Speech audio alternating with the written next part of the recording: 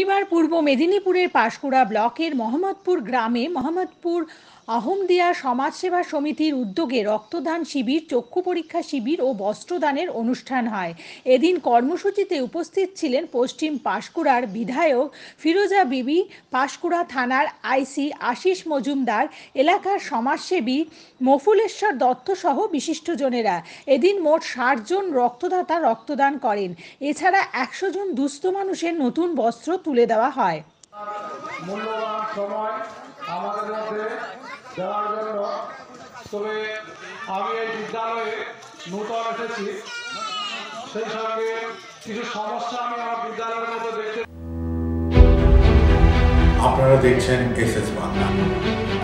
সব ঋতুতে আপনাদের টিভিতে।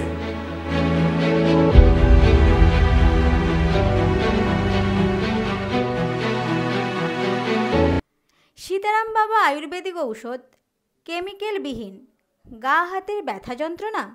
লিভারের সমস্যা? গ্যাস, অম্বল, পেটে পাথর, সুগার, থাইরয়েড এবং বিভিন্ন গুপ্তরোগ নিরাময় হয়।